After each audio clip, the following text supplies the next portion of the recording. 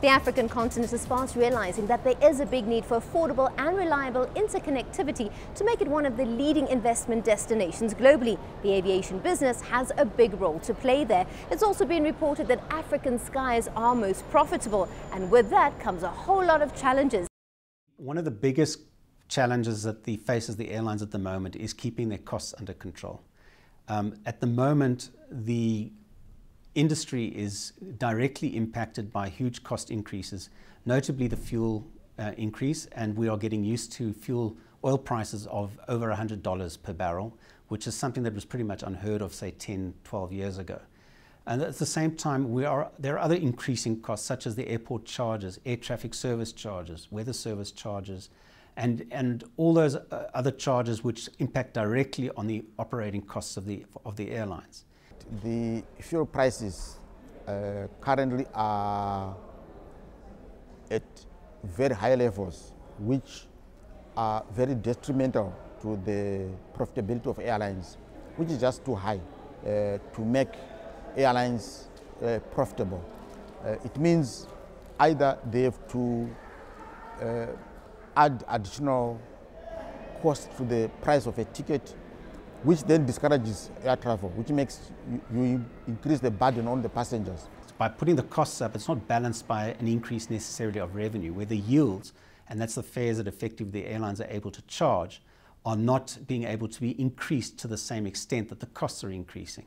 So again, it's a question of the airlines looking at, at cost effectivity and um, productivity in such a way that they can try and keep profitability margins there. AFRAA is unhappy about the blacklisting of African airlines and the organization feels that the EU is politicizing the issue of safety. Airlines like Air Madagascar and LAM Mozambique Airlines, which are on the blacklist. However, these airlines have a very good safety record. They are IOSA certified. They adhere to industry best practices in terms of safety and security. Now, this shows that the blacklists appear to be unfair. It, uh, the process in which such airlines are put on the blacklist is unclear. Few people know why they are on the blacklist. How, what's the point of having IOSA when at the end of the day, airlines which are adhering to industry best practice are also blacklisted? The other airlines Uh, in certain countries like the DRC and, and, the like, where the country civil aviation authority is blacklisted by the European Union for reasons which are not very, very clear. Perhaps they say the airspace is, uh, is, is not safe. Perhaps the airport is not safe. There are systems which they have which are not safe. But what surprises is that if indeed an airport is not safe, why would carriers from the EU come to fly to those same airports which are not safe? It looks as if the EU might be doing this for commercial reasons. African skies are not only filled with doom and gloom, there are ample opportunities for a thriving business. But where the growth has been is in new, um, new uh, routes into Africa, because there it's particularly underserviced. And another area where you've had growth is is to smaller outlying places um, where, where you, there, there is also a need for, for stronger air links as, as such. Um, and so what has happened is you've seen an, an increasing uh, footprint, for instance, um, of, of airlines flying to uh, different places in Africa, not necessarily just connecting capitals, but also tourist destinations as well. And that, that in a sense, helps the expansion because you need to get a certain critical mass of air links and air travel uh, for it to be worthwhile for um, uh, business and, and also tourist flows. And so into, into Africa, where it was largely serviced, Africa was largely serviced from outside Africa. If you needed to fly to um, Algeria, you'd do it via Europe, for instance, uh, and that kind of thing. Increasingly, those links have been um, been uh, expanding.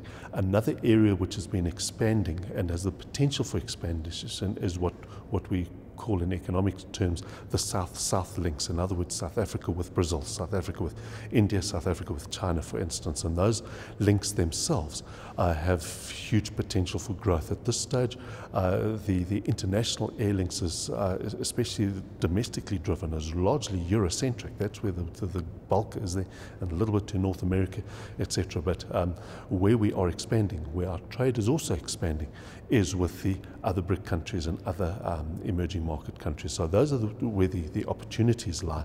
The yields on the continent are good.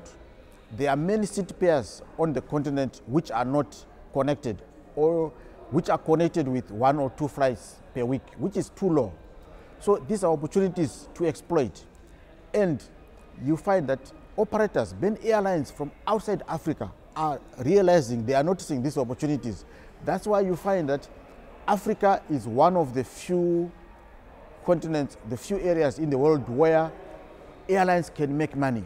A part of the continent that appears to be exploiting those opportunities is Southern Africa.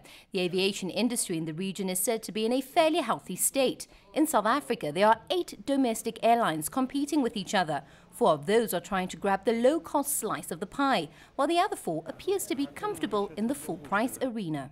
A fifth low-cost carrier could enter the market before the end of the year, and that's uh, run by Santaco. So that would make a, a very interesting uh, new development with probably a new niche market opening up uh, specifically to to um, be able to accommodate taxi commuters flying between Johannesburg and Johannesburg area and say Bisho or Mthatha, for example. Um, within the SADC region, there is also a healthy um, situation with uh, airlines flying between all the neighboring states and South Africa and also to other states as well. The airlines in those areas are, many of them are, are, developing well. They're replacing new aircraft and competing pretty much with the Southern African, the South African carriers, which are also um, developing and growing um, in leaps and bounds.